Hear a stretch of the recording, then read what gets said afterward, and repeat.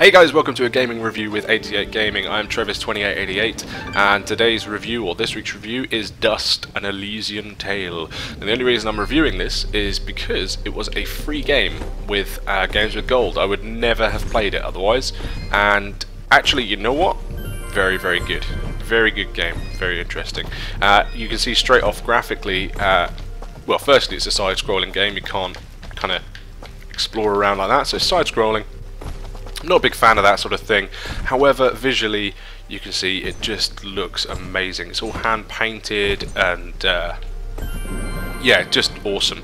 Uh, I'm going to run to a random area and uh, we'll get cracking with some other stuff. Oh, gone the wrong way. so yeah, basically, the premise is you are a rabbit, fox creature who can't remember his past, and uh, you literally just spend the whole game running around trying to get your memories back and figure out who you are. Uh, at the beginning of the game, you come across a sword that can talk and is kind of some kind of ancient being that helps you out, and also Fidget, who is the protector of the sword. A Nimbat, apparently, is what she is, and uh, let's go to the Glen. Yeah, that'll do. Um, and the idea is you go through certain areas, you can see what I've just done there, you can teleport around with the main map and stuff, um, you can get teleport things. Now Nimbat, Fidget there will come up with stuff like that little chest that just came up, that tells me that there is treasure in this area somewhere. The uh, the main menus and stuff are very cool, very easily set up, so you've got a quick item slot, you can put health items in there, your armor, augments are to improve your weaponry, uh, items and keys. You've got lots of random stuff here that you can do. Um, you've got rings on both hands and a pendant as well. The map is literally like this, so that's the block that I'm in at the moment. It's got a big circle on it, which means there's treasure.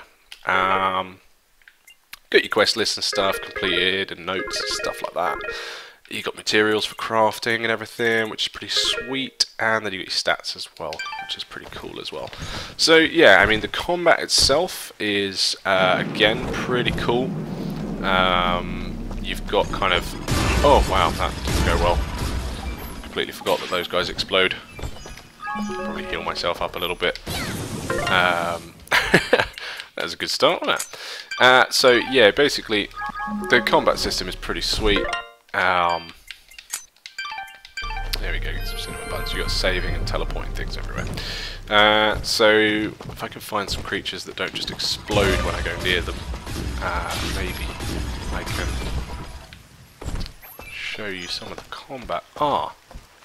Ah, there's a key there. Okay. That's probably the treasure. Let's go have a look-see.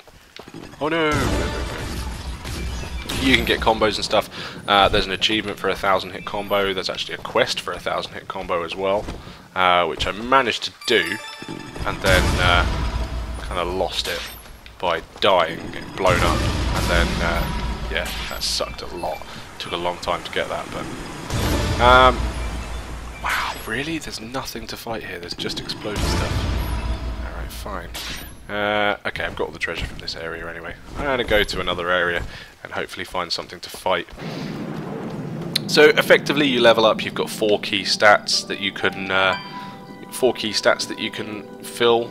Um, there are challenge areas, as you saw on the map there, there's the red areas, they're challenge areas. Ah, here we go. So effectively you've just got your basic combos and stuff, you can also jump up in the air and do all sorts of combos like that. Now, um, if I find another group of monsters, I will show you some of the other cool things that you can do with this. Go this way. Oh, a stage board. Very good. Here we go. So, now Fidget has abilities that you can upgrade. So you go B, and then you can go You see? I can't remember what that's called. It's, uh, it's a specific move where you can just do that. Uh, if you hold it for too long, you end up hurting yourself, but you can also go like this fly around and stuff. However, combining it with Fidget's attacks is probably the best way of doing it, because then uh, you can basically mess people up. So Fidget, at the moment I've got a lightning thing, I've got these things, which you can kind of fly around like that. Uh, I've got this, which does that. Um, yeah, so see it's got a lot of kind of Japanesey RPG type elements to it. The uh, dialogue and stuff is, is some of it's kind of cheesy and a bit cliche and stuff, but I think they've done that deliberately. Uh, a lot of the story and stuff like that is a real traditional Japanese RPG kind of story, which is pretty cool in itself. Um, yeah, it, overall, it's a really enjoyable game. I, I honestly would never have considered it. Uh, I think it's usually about a tenner. Um, I, I really would never have considered it as a game that I would play because I'm not a massive fan of Japanese RPGs and stuff. I know, heresy. Um, but it's it's been really enjoyable, uh, and I've ended up playing it a fair bit. I mean, uh, I'm kind of almost 50% complete of the entire game. That's including all the uh, kind of side missions and everything like that as well. Um, each area you can go back to whenever you like with the with the world map system and stuff, which is really cool. So there are certain things you can't do. Um, you've got shops kind of dotted around. Um, there are certain things you can't do, so you have to go back and explore the areas again and stuff like that. But it works really, really well. I mean, I'm hoping that when you finish the game, you can uh, just kind of carry on playing and carry on exploring and stuff. Um, I mean, that's that's the hope anyway. Uh, where are we going? Let's keep going. But I mean, aside from that, oh Jesus, whoop. Okay, so for these guys, what you need to do is, oh man, Oh god. There you go.